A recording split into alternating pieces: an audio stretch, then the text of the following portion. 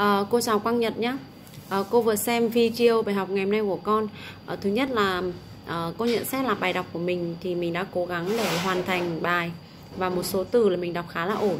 À, tuy nhiên là vì đây nó cũng là hai âm mà cuối cùng rồi và có một âm khá là khó và âm giờ thì trong bài này con cần chỉnh lại gần như toàn bộ cái âm giờ này vì con cái khẩu hình miệng con chú ý này giờ giờ giờ tiếp này youth youth year year year year cái từ tiếp theo ở hàng thứ hai á.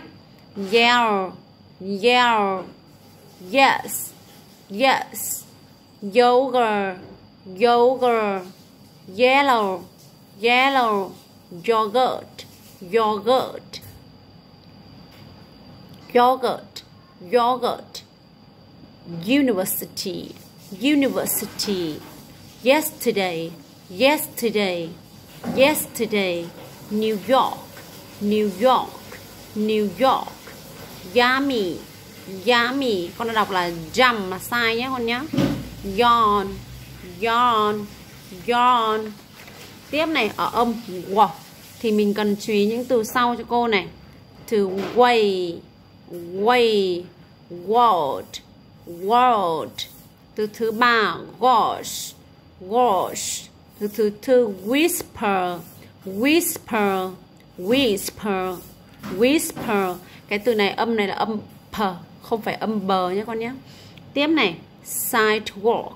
Sidewalk. Sidewalk.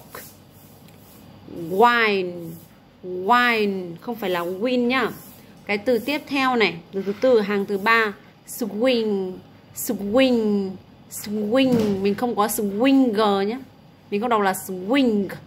Là swing. Swing. Swing. Windy. Windy. Đó là một vài cái góp ý và chỉnh lại cho cô trong bài ngày hôm nay.